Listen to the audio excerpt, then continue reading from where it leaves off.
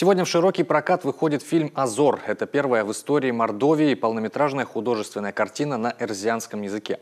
Работу авторы начали еще в 2015-м. Деньги на съемки собирали всем миром, а потому фильм получился по-настоящему народным. Татьяна Супряткина оценила работу финно-угорских кинематографистов.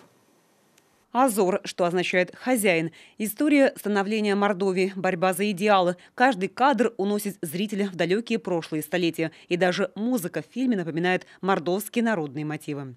Я сама по национальности рязанка, и фильм мне интересен в первую очередь потому, что там непосредственное участие принял мой папа. И поэтому я очень жду премьеры этого фильма, и она интересна даже в том случае, когда это первый фильм, снятый на мордовском языке. Это, в принципе, сенсация.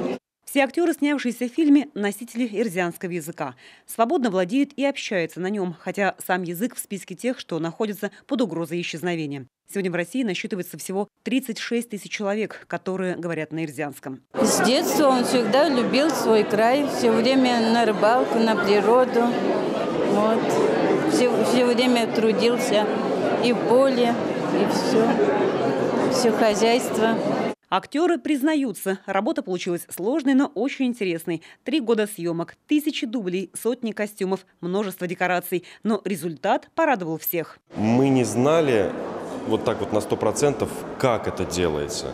Потому что у нас не было никаких там ассистентов, специально обученных людей. То есть, э, ну, хорошо, я актер с профессиональным образованием, режиссер Виктор Чичайкин, он э, тоже у него есть актерское образование и понимание это, этого процесса. И вот где-то откуда-то что-то услышали, где-то подсмотрели, то есть мы рождали все это. И вот это, наверное, было самым сложным. Не вхождение в образ, не а, выучить текст а, там, каких-то диалогов, монологов, а вот именно сам съемочный процесс.